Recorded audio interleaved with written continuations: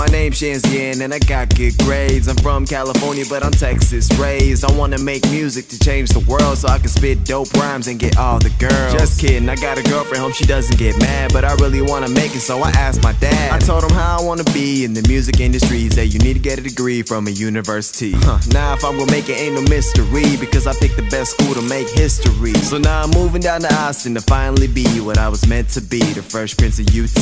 Yep.